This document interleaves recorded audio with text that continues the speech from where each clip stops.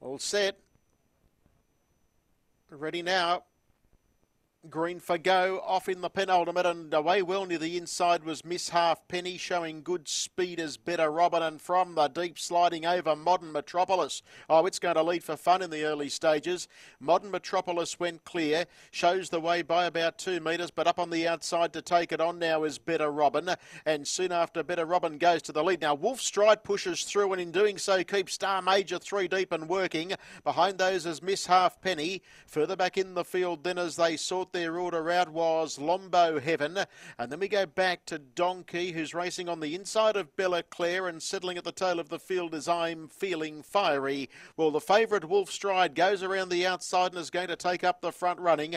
Uh, went clear over the second pick in betting boards, Better Robin. Third in the breeze now was Star Major and against the pegs, the one-time leader of the race, Modern Metropolis, as they work their way down the home straight. One out and one back then is Lombo Heaven in a 49-7 lead. They were followed further back in the field then by Miss Half Penny, Bella Clare, well back Donkey, and I'm feeling Fieries at the rear. They cast the winning post and the judge astern, and they work their way towards the bottom turn where the leader is Wolf Stride, the race favourite, heavy, very heavily tried, controls the race. In second spot, Better Robin.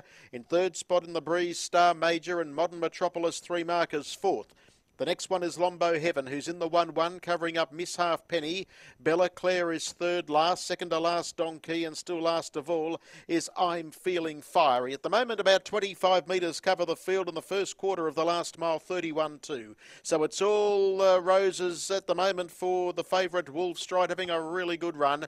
Leads the way by four metres, two Better Robin, and third ahead away on the outside is Star Major.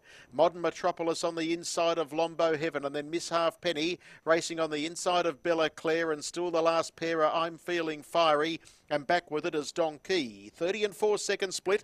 61 6 the half as they approach the top turn and inside that point now. They've got just under 600 left to go and it's still Wolf Stride the leader. Star Major being revved up on the outside to try and get on terms. Covered up the inside as Better Robin and then Lombo Heaven, Modern Metropolis. Further back then Bella Claire. The boulder peels to the outside. Miss Halfpenny gets one off the inner and Donkey and I'm feeling fiery the last pair. But it's Wolf Stride the leader. Second on its back yet to come off it is Better Robin and they were followed by Star Major. Further back, then down the outside, Lombo Heaven, but it's Wolf Stride. A hundred to go. It's well clear now, and going for five straight, and it's got it. Wolf Stride will beat Better Robin. Star Major a good run, and G fourth they lined up. Lombo Heaven is in the middle with Modern Metropolis and Miss Half Penny. They were followed further back in the field then by I'm Feeling Fiery, Bella Claire, and it was one of the last ones in with Donkey in a mile rating of 156.